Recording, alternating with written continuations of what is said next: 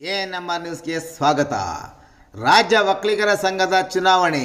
ಎರಡನೇ ಸುತ್ತಿನ ಮತ ಎಣಿಕೆಯಲ್ಲಿ ಡಾಕ್ಟರ್ ರಮೇಶ್ ಟಿ. ಕೋನಪರೆಡ್ಡಿ ಮತ್ತು ಯಲವಳ್ಳಿ ರಮೇಶ್ ಮುಂಚೂಣಿಯಲ್ಲಿ. ರಾಜ್ಯ ಒಕ್ಕಲಿಗರ ಸಂಘದ ಕಾರ್ಯಕಾರಿ ಸಮಿತಿಯ ಎರಡು ಸಾವಿರದ ಇಪ್ಪತ್ತೊಂದನೇ ಚುನಾವಣೆಯಲ್ಲಿ ಕೋಲಾರ ಮತ್ತು ಚಿಕ್ಕಬಳ್ಳಾಪುರ ಜಿಲ್ಲೆಯ ಮೂರು ಸ್ಥಾನಗಳ ಮತ ಎಣಿಕೆಯು ಎರಡನೇ ಸುತ್ತು ಮುಗಿದಿದ್ದು, ಡಾಕ್ಟರ್ ರಮೇಶ್ ಟಿ. ಕೋನಪರೆಡ್ಡಿ ಮತ್ತು ಯಲವಳ್ಳಿ ರಮೇಶ್ ಮುಂಚೂಣಿಯಲ್ಲಿದ್ದಾರೆ. ಎರಡನೇ ಸುತ್ತಿನ ಎಣಿಕೆಯಲ್ಲಿ ಡಾಕ್ಟರ್ ಡಿ ಕೆ ರಮೇಶ್ ರವರು ಇಪ್ಪತ್ತೊಂದು ಸಾವಿರದ ಮುನ್ನೂರ ನಲವತ್ತೊಂಬತ್ತು ಮತಗಳನ್ನು ಪಡೆದಿದ್ದಾರೆ. ಟಿ ಕೋನಪ್ಪರೆಡ್ಡಿ ಹದಿನೇಳು ಸಾವಿರದ ಎಂಬತ್ತೊಂದು ಮತಗಳನ್ನು ಪಡೆದಿದ್ದಾರೆ.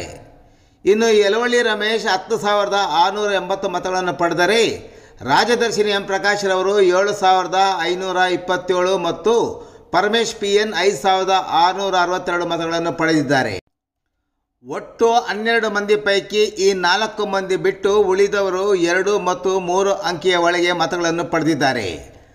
ರಾಜ್ಯದ ಒಕ್ಕಲಿಗರ ಸಂಘದ ಕಾರ್ಯಕಾರಿ ಸಮಿತಿಯ ಮೂವತ್ತೈದು ಸದಸ್ಯರ ಆಯ್ಕೆಗೆ ಸಂಬಂಧ ಕೋಲಾರ ಮತ್ತು ಚಿಕ್ಕಬಳ್ಳಾಪುರ ಜಿಲ್ಲೆಯ ಮೂರು ಸ್ಥಾನಗಳ ಸದಸ್ಯರ ಆಯ್ಕೆಗೆ ಇದೇ ಹನ್ನೆರಡರಂದು ಚುನಾವಣೆ ನಡೆದಿದ್ದು, ಇಂದು ಮತ ಎಣಿಕೆ ಕಾರ್ಯ ಕೋಲಾರದ ಜಿಲ್ಲಾ ಕೇಂದ್ರದಲ್ಲಿ ನಡೆಯುತ್ತಿದೆ.